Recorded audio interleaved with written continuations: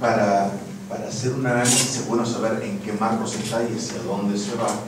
Quería plantear simplemente cuando veíamos la interesante eh, el gráfico de Dante Sica en donde se veía una permanencia de la estructura industrial, el modelo económico está desarrollando muy sintéticamente el crecimiento brutal de los bienes y servicios digitales que hoy en día representan en Argentina con toda la furia un punto del producto y que en 15 años van a estar representando 10 o 12 puntos del producto, eh, o sea, software y servicios digitales, y si decimos bienes basados en el conocimiento, probablemente se multiplique por dos. Eh, frente, a, frente a ese esquema, las políticas ya no son tan transversales, porque están en un entorno en donde se han abolido prácticamente las fronteras. Eh, son industrias que trabajan con independencia de eh, las políticas locales. Se han visto muy poco afectadas, en el 2008 y el 2011, las inflaciones no afectaron a esa industria en la Argentina, que siguió creciendo y que se multiplicó por 10. Entonces, digamos, me gustaría eh, que se eh, tomar en cuenta que hay una transformación eh, del valor, se está corriendo el valor de bienes este, que son nuestros, nuestros tradicionales, que provienen del extractivo, de las materias primas, están siendo reemplazados por bienes del conocimiento, que requieren una estrategia muy diferente. Felicito al Gary y a los autores por esta iniciativa tan interesante. ¿no? Pero yo quiero hacer referencia a un gráfico que mostró Martín Pinto eh, con el ciclo de expansión y de contracción de la economía argentina, donde me parece que no queda suficientemente destacado el hecho de que cada una de esas crisis recurrentes desbarató por completo, casi por completo el crecimiento anterior, eh, ubicándonos en, en, el mismo lugar en el que habíamos partido, y si este análisis, en lugar de hacerlo a lo largo de 60 años, hacerlo a lo largo de 100 años, también se ve algo parecido con el agravante de que en la comparación internacional creo que el, argentino es el único caso de un retraso relativo al manifiesto. Entonces, acá me parece que más allá del herramental propuesto en este trabajo por los profesionales, que con, con, la cual, con el cual yo simpatizo en la, en la mayoría o en todos los casos, me parece que hay un tema que tiene que ver con los consensos sociales que en general apuntan a eh, aceptar que las políticas populistas son eh, efectivas, digamos, o que pueden llevarnos al puerto que, se dice, la tolerancia a la corrupción, la tolerancia a amañar las normas a favor de, ciertos sectores, digamos, y, que entonces, antes de proponer una cosa así, me parece quizás convenga reflexionar sobre todo esto, porque en la medida en que haya un consenso social donde estas cosas no son aceptadas como no lo han sido a lo largo de muchísimos años, me parece que eh, no, no, se va a poder avanzar demasiado con todo esto. Yo quería hacer una reflexión sobre el tema de los salarios bajos, que digamos, de alguna forma se estableció un parámetro diciendo no queremos salarios bajos. Yo creo que eso, para que sea coherente, tendríamos que tener trabajadores competitivos con salarios altos, con una capacidad de compra tal como para sostener otros trabajadores sin capacidades competitivas en lo internacional eh, eh, a, través del consumo. O sea, que el segmento de trabajadores de buena capacidad genera un mercado tal para que el 30% de la población se incorpore eh, al trabajo. Eso en la Argentina es totalmente imposible. Es imposible en España, así que es imposible. O sea que desde mi punto de vista, inevitablemente, si queremos que ese 30% de la población trabaje un porcentaje importante, tiene que competir en salarios bajos.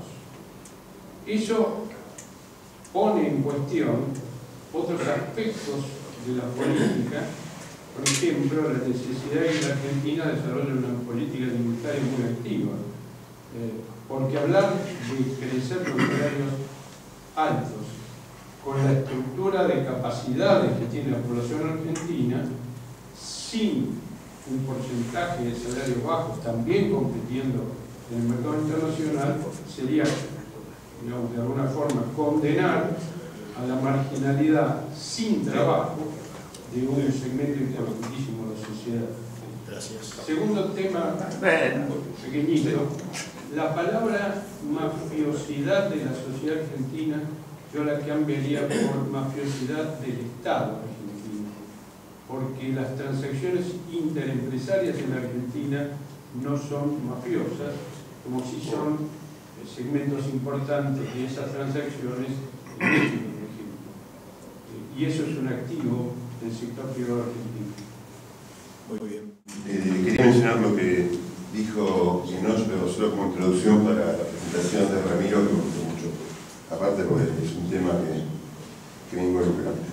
Eh, está claro que la revolución digital y el tema de la revolución de las comunicaciones eh, nos da una oportunidad muy grande a todos, al país más que a todos, de no depender de, de las economías de escala. O sea, hoy estamos viendo un montón de desarrollos que son chicos, entrepreneurs, eh, que para un país como Argentina es una oportunidad para inversiones de capital y movilizaciones de capital mucho menores de lo que estábamos acostumbrados en la década de 60, 70, 80. Eh, y esto coincide, tenemos suerte, porque coincide con una vocación desde el punto de vista personal de muchos entrepreneurs de iniciar este tipo de emprendimiento, porque uno puede tener la oportunidad, pero hay gente que quiere, como nuestra generación, yo soy uno de ellos, este, trabajar en una gran corporación, ¿no? como el japonés, digamos, ¿no? era un caso extremo que quería entrar y morir ahí. Hoy eso no se da en absoluto, yo tengo contacto con alumnos, con mis hijos, con lo que sea, están en, al revés, se quieren ir corriendo de todo tipo de corporación. O sea que hay una oportunidad única en nuestro país, tenemos las comunicaciones, tenemos lo digital, un tipo de productos que apunta a esto y tenemos la gente para hacerlo. Pero Ramiro mencionó muy bien este, el tema de financiamiento, porque el tema grave es eh, la disponibilidad o no de financiamiento para este tipo de emprendimientos. Eh, y él mencionó este, como una de las trabas, conozco un poco también por lo que yo hago, que una institución financiera cualquiera en general presta por el pasado y no por el futuro. Y el caso extremo, o sea, le va a prestar a un proyecto que haga tequín y no le va a prestar a un proyecto que emprenda a una empresa mediana. Le va a prestar a alguien que le da la casa en hipoteca, aunque sea chiquito, pero no le va a prestar a alguien a su firma. Digamos, pero si tienes la casa, te presta, porque total después que ejecuta la casa, la casa vale tres veces el préstamo. Esto es una traba para este proceso que hablamos antes, porque es un proceso obviamente de toma de riesgos y de una escala que a veces no tiene que ver con los patrimonios históricos de los que lo prenden. Entonces yo creo que hay dos cuestiones a encarar en Argentina, por lo menos lo, lo que yo siempre pienso, en este aspecto. Eh, la primera cuestión tiene que ver con el sistema legal. O sea, la verdad que la normativa legal que existe hoy en Argentina es muy dificultosa para dos cuestiones que son importantes. Primero, para ejecutar las deudas. Y segundo, para resolver casos en los cuales no se pueden pagar las deudas. O sea que las dos cuestiones me parece que eh, hay que mirarlas con mucho cuidado. O sea, Y vos conocés bien, ¿no? ¿Qué pasa? Tan interesante, no, en general dije que no, no me digas eh, o sea, hay un problema de ejecución y hay un problema de, de, de cómo se resuelven cuando no se pueden pagar. Y me parece que para un acreedor es importante también que haya mecanismos de resolución. Y por último, son idea, eh, hay un problema todavía más grave del Poder Judicial y del Poder Político en general de enforcement, ¿no? o sea, de, de hacer cumplir lo que está escrito. Eh, estas dos cuestiones hacen que el crédito esté muy restringido porque hay una simetría en finanzas que dice que cuando el empresario gana, el financiador cobra. Cuando el empresario pierde, el financiador no cobra. Pero el financiador no gana más cuando el empresario gana más. O sea que está asimétrico. Y esa tensión entre el que financia y el entrepreneur es terrible. Hace que no se financie nada.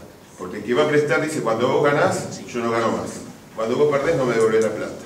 Para que haya algo raro. Este, con lo cual se vuelven muy conservadores, te pierden hipoteca o te dicen, bueno, tenés que ser tequín para que eh, la primera aclaración que quiero hacer es que yo no soy economista, mejor mis derechos, mis observaciones pueden ser fuera de lugar. Y a lo mejor va hablando ya nos damos cuenta. La primera cosa es que cada vez que hablamos de desarrollo económico, que hablamos de crecimiento de la economía, se suelen poner instituciones como la del Poder Judicial, la previsibilidad, etc. Yo creo que valdría la pena sacarlo, porque esas cosas son buenas a pesar, o mejor dicho, además de que ayudan a la economía, son buenas en sí mismas.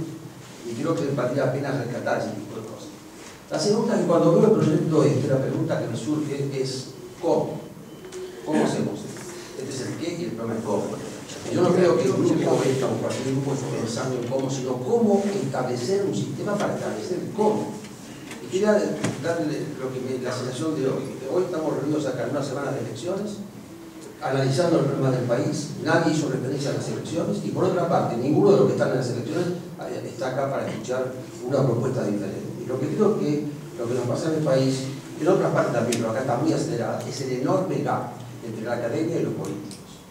Mientras ese gap no se rompa y podamos nosotros trabajar sobre temas que a ellos les interesan, pero que ellos se nutran de los estudios que hacemos, creo que la cosa va a seguir por esta vía en la que sabemos que y nadie, es posible o no es posible que podamos establecer cómo se Eh, considero que hay que darle prioridad absoluta a la estructura científico-tecnológica, que es histórica, el Estado dispone de una parte importante de desa- desarrollarla, eh, fundamentalmente lo que hace las ciencias duras y investigación, desarrollo y gestión tecnológica, ¿no? como un elemento eh, alguna manera vinculado a la actividad industrial, los efectos de mejorar la productividad, y por otro lado, también una faceta que es trabajar en eh, la frontera del conocimiento, que creo que esa es la verdadera ventaja comparativa de la sociedad argentina. Si me parece que hay que apuntar fuertemente a esto, porque creo que eso, que lleva su tiempo y todo, tenemos la base y eso puede ser verdaderamente útil. Bueno, primero, felicitaciones por el trabajo, realmente me parece muy bueno, eh, la inquietud. La primera es la Cigar. ¿Quién se pone esto al hombro? Realmente, ¿quién es el príncipe de Egipto? Eh, creo que la población no cree, no conoce estas cosas, tiene una visión antigua de lo que es el desarrollo y el crecimiento, eso está instalado en la cultura argentina la dirigencia también, este, y el sector político, yo no creo que sea toda la más incluso de buena fe creen que esas empresas que compraron el gráfico están abajo, tal vez más ineficientes, menos- con menos productividad, eh, son las que creen que dan el trabajo y por eso tienen todos los privilegios que tienen para poder subsistir. Entonces, además, esas, los que pertenecen a esas empresas van a ser todos un lobby para que esto no suceda. Es otra cosa.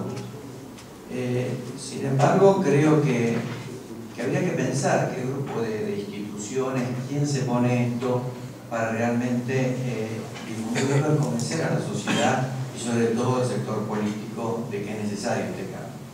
Ese es el principal desafío creo que tenemos, porque la mayoría va estar de acuerdo en esto. Y la otra cosa, en algunas cosas que fueron saliendo creo que se soluciona con la transición. Es clave sea la transición.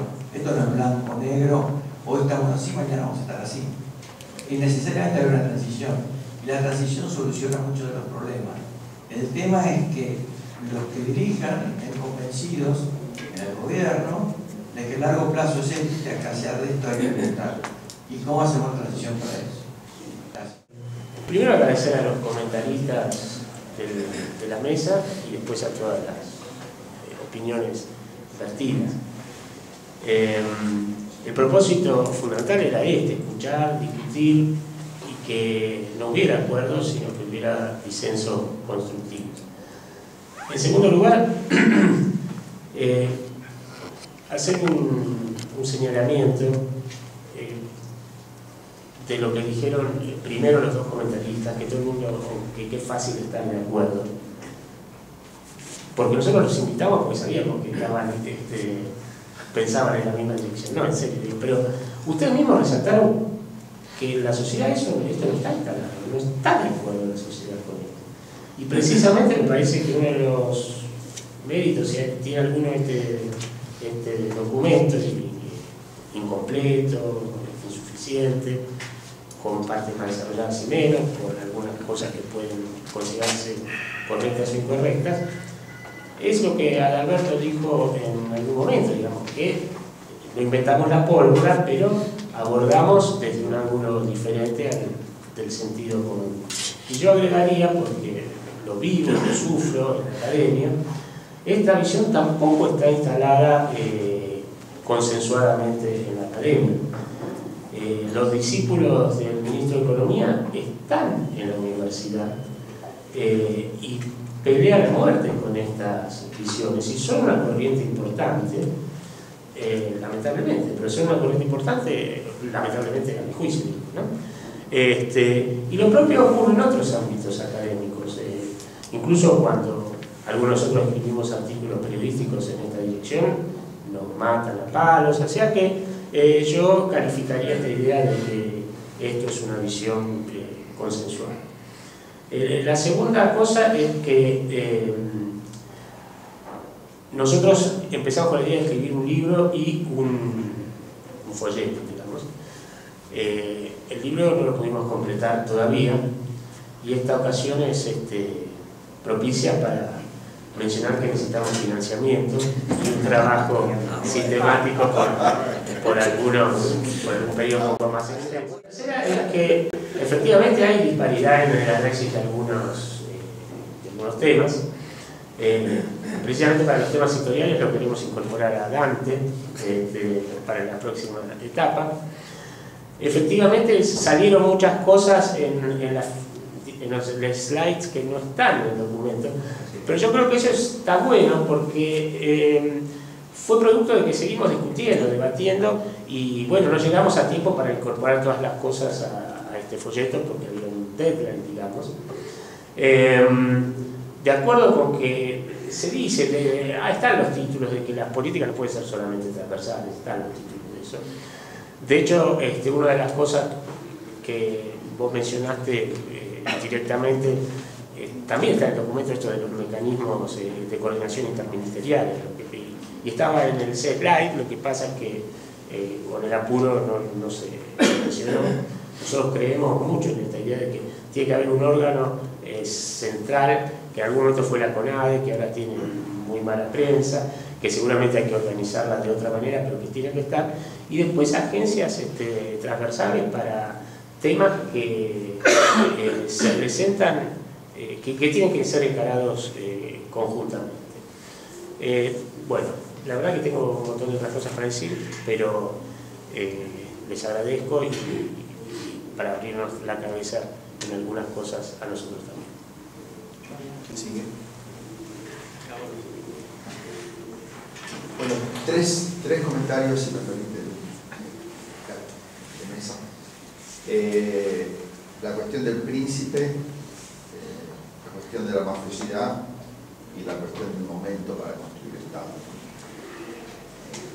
En relación al, tema del príncipe, eh, uno podría agregar ahí un autor italiano que hace poco sacó este libro, El Príncipe Democrático, además refiriéndose a, supongo, a los partidos políticos. Efectivamente, el, comentario que uno puede hacer no es un comentario optimista. no, no, estamos en un momento en el cual eh, se observen experiencias, eh, no solo en América Latina, sino en el mundo, en el cual efectivamente aparezca este, actor colectivo, obviamente, que vaya contra la corriente.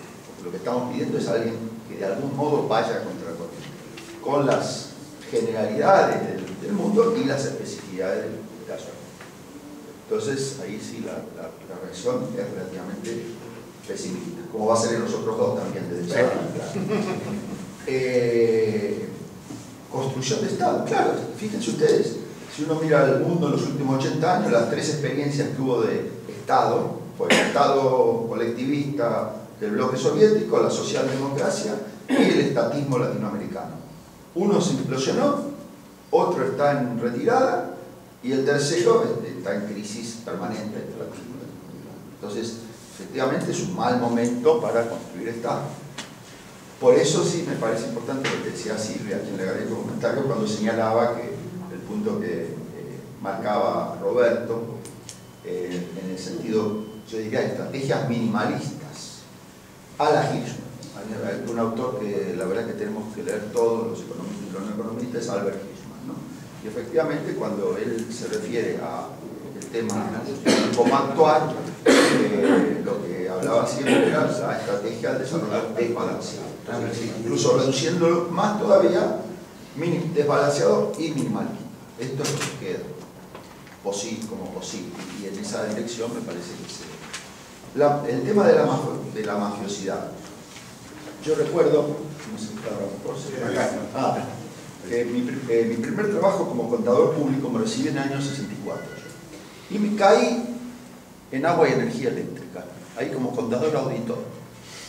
Eh, y resulta que por la equivocación de un empleado, se equivocó, yo no era ningún eh, contador, auditor eh, muy, muy, muy sagaz, recién recibido, salía de ahí de la facultad, y un, un- un empleado se equivoca y me da las, las planillas que no debiera haberme dado. Entonces ahí, ¿qué encontré?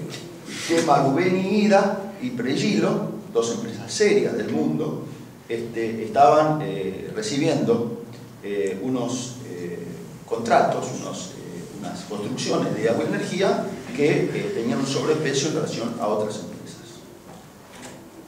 ¿Esa mafiosidad de quién es? De los dos, del Estado y de los empresarios.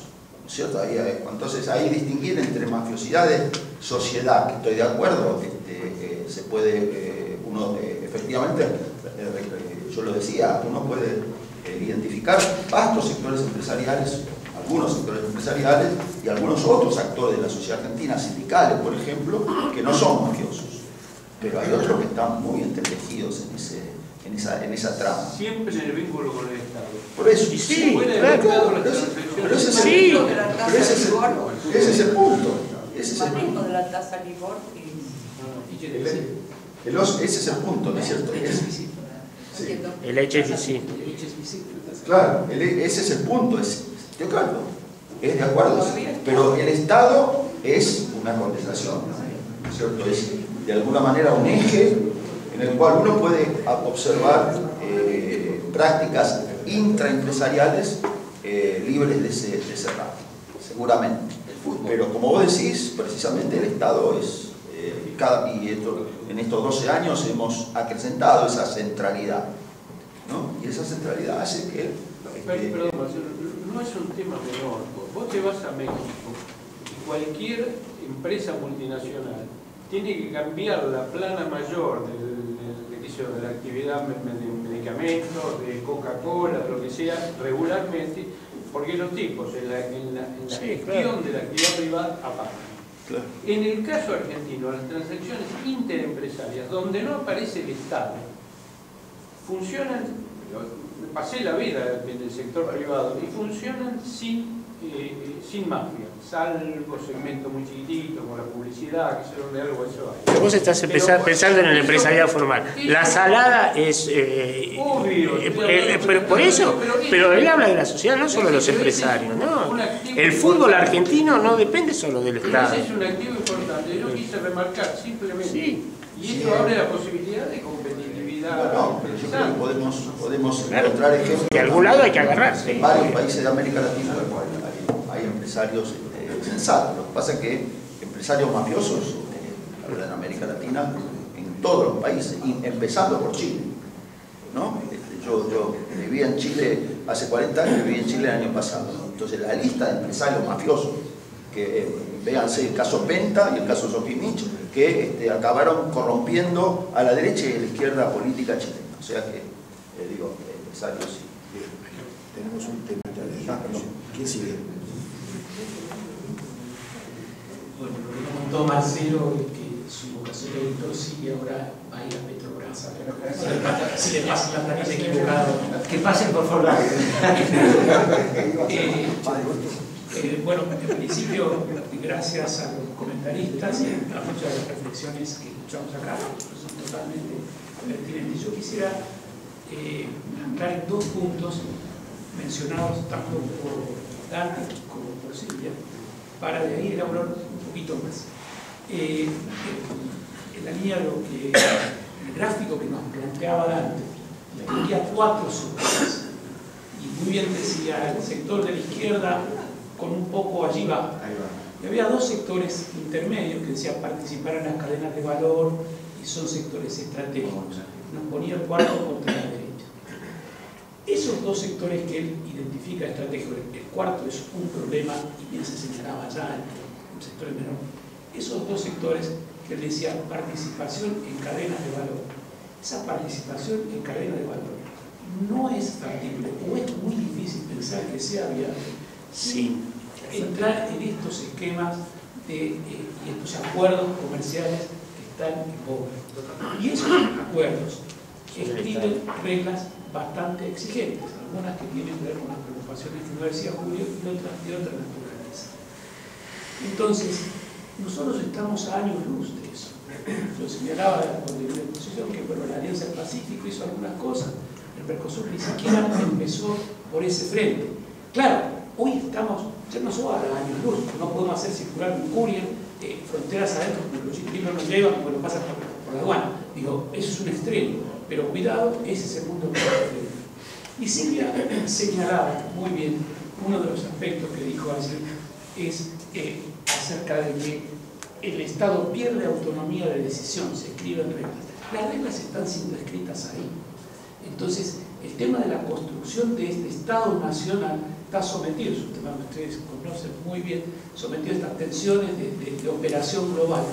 Y eh, pierde capacidad no solo el Estado argentino, pierde capacidad el Estado chileno o costarricense. Costa Rica hizo un enorme esfuerzo de zona franca para que se, se venga a radicar Intel, se, se quedó siete años y se fue. Y le dejó todo en, en, en banda.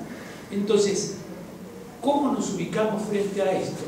A, a, donde las reglas se están escribiendo en otros ámbitos, no es menor. Y allí voy un poco a la preocupación que ustedes señalaban, voy a entrar en eso, eh, acerca de, de, bueno, que ese propósito. Yo creo que eh, si podemos eh, digamos, identificar que estos son los problemas bueno, por allá tener o, no un diagnóstico común, pero por lo menos estar alerta del problema, se ha hecho un avance enorme. Esto no está escrito para un príncipe que va a tomar esto ni nada, sino una contribución muy modesta a un debate eh, donde hay mucho para profundizar.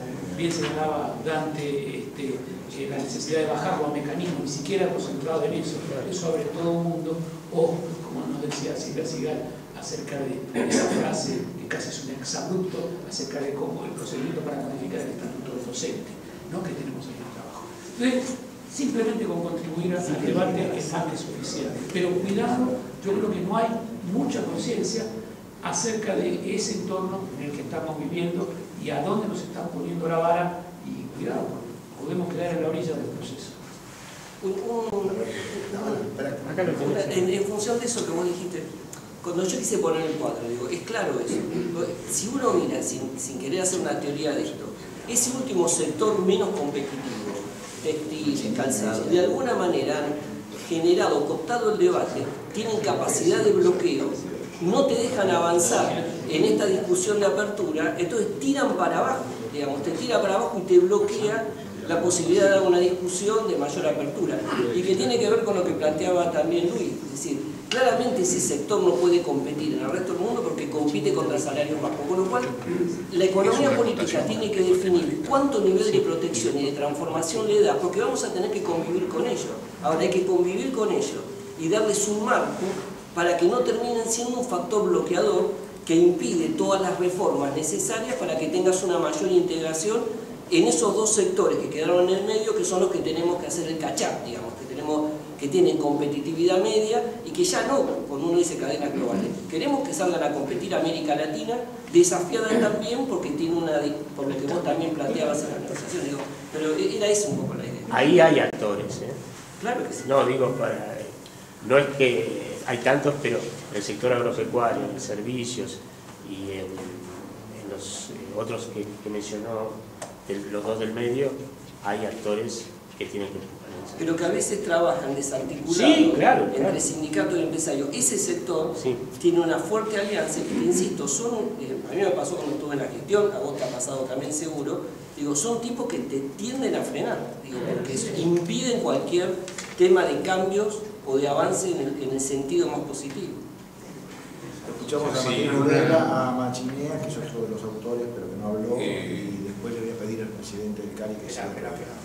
Ah, tiene y sí, Antes que el tema pase, ¿no? Eh, la cuestión del Estado, creo que somos demasiado eh, abarcativos cuando hablamos del Estado, ¿no? tenemos que construir el Estado. Y justamente una estrategia como la que se propone requiere pedazos del Estado con capacidades específicas y con economías políticas particulares. Eh, sobre la construcción del Estado, la Argentina ha tenido experiencias de construcciones parciales del Estado exitosas, ¿no? en el sentido de fueron instrumentos de política, eh, esas políticas de alguna manera plantearon objetivos, algunos de esos objetivos fueron alcanzados, logrados. El problema es la persistencia del éxito. Pero digamos, si uno reconoce la historia del Estado argentino, hay muchas instancias, digamos, de fundaciones y desarrollos virtuosos en sus ámbitos específicos. Esa idea la tomamos en el documento, aunque no fue expresado así por razones de tiempo. Ahí lo que se dice es cómo se comienza la reconstrucción del Estado. La respuesta que se da es identificando algunos ámbitos de decisión o de acción que son particularmente relevantes como para buscar esto. No pensamos en una reformulación o la refundación del Estado. Pensamos en una visión mucho más instrumental de la reforma del Estado, de esa manera. Eso supone, para ser exitosa esta según el planteo, es que antes de modificar el Estado hay que reconstruir la economía política. ¿Y eso qué quiere decir? Quiere decir construir alianzas con aquellos actores que de alguna manera pueden estar a favor de cierto tipo de reformulación. Esto quiere decir además que no se trata de construir consenso sobre una determinada imagen del Estado. Se trata de construir acuerdos parciales entre actores estratégicos para avanzar cierto tipo de decisiones o cierto tipo de acciones, que van a ser localizadas, pero que, volviendo a Hirschman, que tenemos que ver cuáles son los encadenamientos institucionales que pueden tener resultados que nos interesen a nosotros. Es decir, no es esto del Estado como una totalidad. Y al mismo tiempo, eh, Willy lo recuperó, porque en el documento está, es como la posibilidad, la convencería yo, de construir mecanismos transversales, a la manera de las agencias, con una cierta autonomía, que de alguna manera puedan desembarazarse de las capturas clientelares, sectoriales, que yo diría el armado, el armazón sectorial del Estado es propenso a este tipo de capturas. Por lo tanto, estas agencias que, tendrían que tener una relativamente alta autonomía con los controles que efectivamente puedan plantearse, pero cuyos resultados y sus consecuencias puedan ser evidentes y fácilmente identificables y medibles, yo creo que es una manera de resolver la impotencia frente a la complejidad de la del Estado. Es decir, no todo el Estado, sino una visión estratégica, una visión gradual, una visión que suponga reconstrucción de la economía política, yo en la exposición dije incorporar actores o incluso estimular la creación de nuevos sectores que representen nuevos, intereses y bueno, ese es el camino que de alguna manera nos puede sacar de esta imposibilidad casi absoluta. Sí, muy breve, voy a enfatizar lo que dijo recién. Los dos dijeron que estaban de acuerdo, digamos, este, que era difícil estar en desacuerdo eh, y yo creo que ustedes no están en desacuerdo. Ahora, digamos, empezando con vos antes, no estarás de acuerdo que algunas partes importantes de la estructura productiva argentina no estamos de acuerdo con los énfasis puestos en este documento. No quiere decir que vos Entonces, digo, creemos que desde ese punto de vista es una discusión relevante respecto a la sociedad. Y lo que decía Silvia Sigal decía, eh, difícil no estar de acuerdo y al mismo tiempo cómo se hace. Y que cómo se hace implica que hay muchos que no están de acuerdo. ¿No? Porque el estatuto del docente se casó, vamos a volver al estatuto del docente. ¿No? Claro. Este, ¿Estamos de acuerdo que hay que cambiar el estatuto del docente? Nosotros. Claro. ¿Y quién más? ¿No? Entonces, el estar de acuerdo no es una cosa generalizada en toda la sociedad argentina, ni en la estructura productiva, ni en muchos cambios sociales. Eso no quiere decir que no exista un una discusión que lleva ya décadas en Argentina, en los cuales Adolfo Caneto, lo mencionaste hoy, este, fue uno de los que, insistió mucho en su momento, eh, que es el tema de crecimiento y equidad. Parece haber una contradicción permanente en esa discusión, eh, que si uno lo ha simplificado en términos de tipo de cambio ayuda al crecimiento, pero complica la equidad, entonces que nos quedamos con la equidad de corto plazo o con el crecimiento, pero que se ha extendido ahora, y los temas de equidad, ahora reformas, el estatuto del docente, o cualquier otra reforma, casi diría yo, también va en contra de la equidad. ¿no? Se, ha, se ha generalizado en la sociedad argentina. Las la idea. Las exportaciones, si uno dice vamos a incrementar exportaciones, va en contra de la equidad. ¿Por qué va en contra de la equidad de las exportaciones? No sé muy bien, pero se ha generalizado. Eh, y, y, entonces... Se de sustituir exportación. Sí, eh, claro, claro, claro, Digo, claro, para, para disimular eso. Este, entonces, la sociedad no está de acuerdo. En todo caso, si, si este tipo de discusiones con las cuales ustedes están de acuerdo, eh, ayudamos a establecerlo en la discusión política, me parece que ese sería el aporte relevante. Insistir en alguna de estas cosas hasta que la sociedad, los políticos, la sociedad en su conjunto esté dispuesta a discutirla realmente. Y un comentario menor eh, con respecto a lo que decía Luis, si está por ahí todavía, decía, eh, y vos eh, lo comentaste recién antes, necesitamos generar empleo a aquellos salarios bajos, es cierto, pero la estrategia de desarrollo de una economía no se fija por eso, ¿no? La estrategia de desarrollo de una economía se fija por los sectores más dinámicos. Los sectores más, más dinámicos el estilo japonés, coreano, chino hoy día van cada vez con salarios más altos. Eso es lo que define la estrategia de desarrollo de una economía. ¿Eso significa que vamos a darle empleo a todos los salarios altos? No.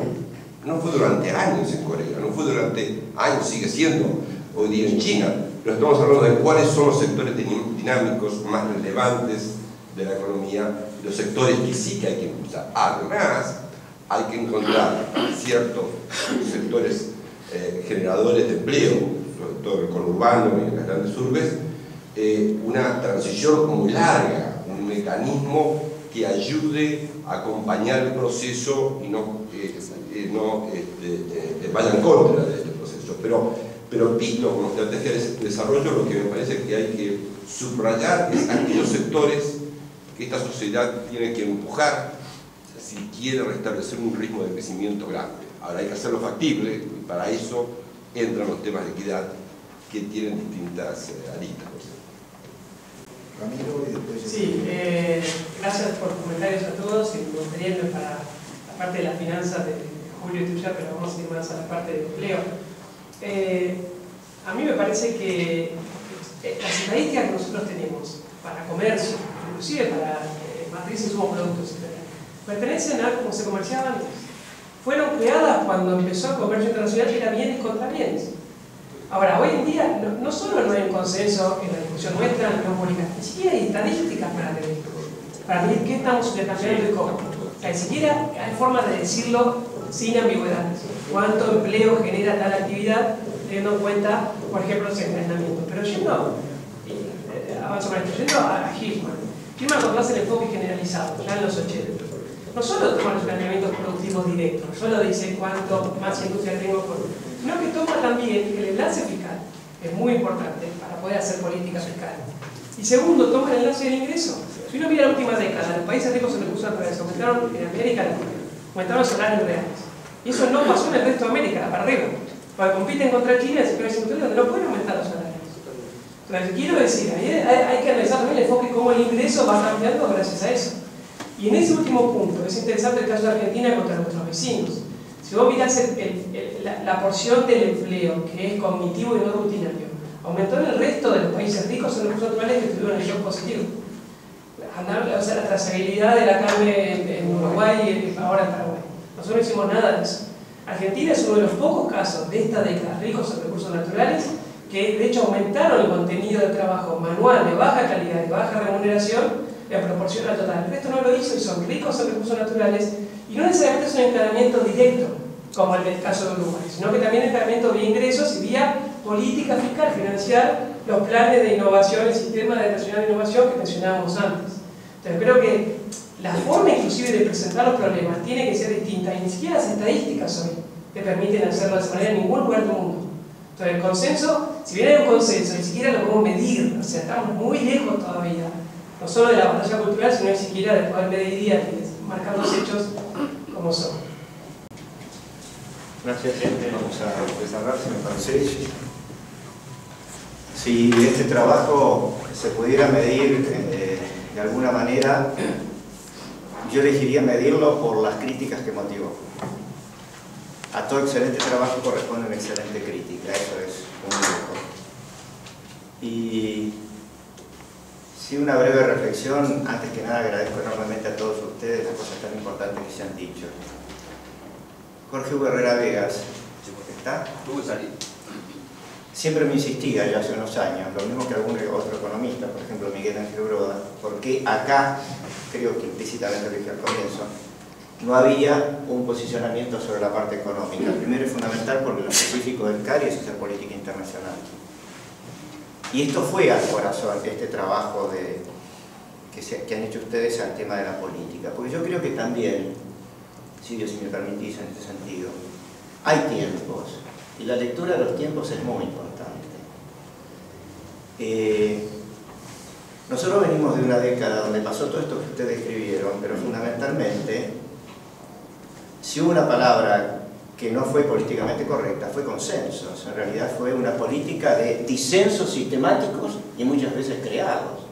Con lo cual, que en este momento lo que estemos haciendo es creando consensos y poniéndonos de acuerdo, implica un cambio profundo en los tiempos y en la política que de alguna manera facilita el tránsito a esto tan dificultoso como muy bien vos planteás, que se nos abre con este documento para mí crucial. Y debo decirlo que también como los otros documentos, lo que pasa que este, como fue mucho más al fondo de la cuestión, plantea mucho más las dificultades que tenemos. Obviamente la crítica de ustedes pone en evidencia que las dificultades que, que se plantearon en el documento todavía tienen que ser profundizadas. De todas maneras, eh, les quiero decir que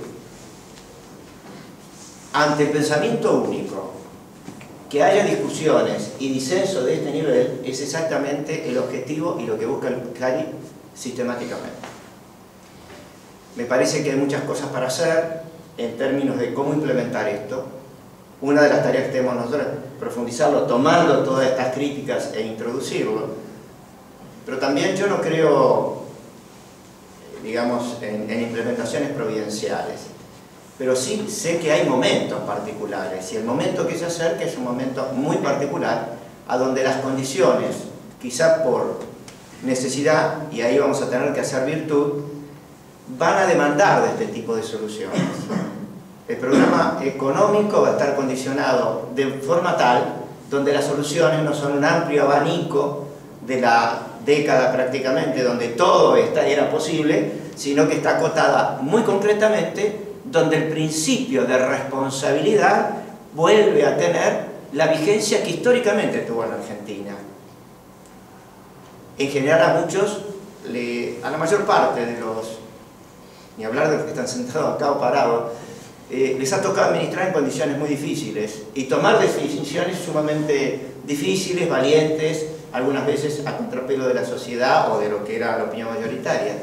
Es muy probable que se vuelva a dar esa circunstancia, porque este terreno que pasamos, digamos, de, como se llamó, de viento a favor, eh, es un periodo que, termina, como, todo, como todos los ciclos. Este documento tiene la ventaja de ese espíritu del, tiempo, esa lectura de los tiempos, hacerla correctamente. Yo creo que lo que propone es factible, sumamente difícil, como eh, realmente una crítica de fondo que se hizo está totalmente en lo cierto. Lo va... Por eso digo, los tiempos que vienen para adelante no son fáciles. Nos sorprende, le sorprendía a Guillermo que no estuvieran acá los políticos. Es absolutamente natural. Los políticos están en campaña y nosotros que no estamos en campaña nos tenemos que dedicar a hacer esto mientras ellos se ganan la voluntad popular. Después va a haber que mediar a efecto de que se junte esa voluntad popular con estas concepciones y a su vez implementen. Pero eso es el trabajo de la política, que es el arte de lo posible. Y eso se construye entre todos. Por eso yo personalmente como, eh, digamos, ciudadano del común, lo que les quiero agradecer es este compromiso. Primero a los que trabajaron. Realmente es emocionante ver lo que pudieron plasmar de esas conversaciones iniciales que se tuvieron. Felicito particularmente a la, a la Secretaría Académica y a todos aquellos que que tienen tanto para dar porque hicieron mucho en este país, con distintos resultados, pero que se jugaron la vida en esto. Y creo que los vamos a seguir jugando. Entonces, en términos de lo que viene para el futuro, que son las nuevas generaciones, Estos son testimonios históricos y fundamentalmente una acumulación de, sabiduría veniendo de distintos sectores y distintas concepciones, como fue bien claro acá en esta reunión, que son un activo, un stock que nosotros también tenemos que, rescatar, no solo los stocks económicos. A mí me parece que mm, esta coyuntura nos ha dejado una experiencia muy marcada, que es mejor vivir en un país entre compatriotas amigos que entre compatriotas enemigos. Esto me da la sensación que es un signo de los tiempos que, que cambia. Y este tipo de documentos tiene mayor espacio, y ahí es en lo que quizá me permita que se coincida en primera instancia, se dé por obvio, no es obvio. Últimamente en esta casa sucedía que lo obvio era la absoluta descoincidencia en las cosas. Entonces me parece que eso es lo que a uno lo alienta a trabajar de una, de una manera muy, muy intensa en esta, en esta transición.